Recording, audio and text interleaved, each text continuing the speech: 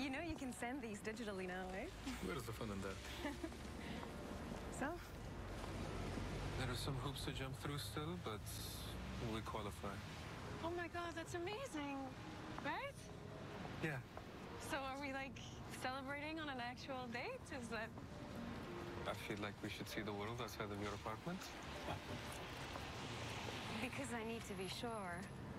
You know, a person could make a romantic assumption about a movie ticket.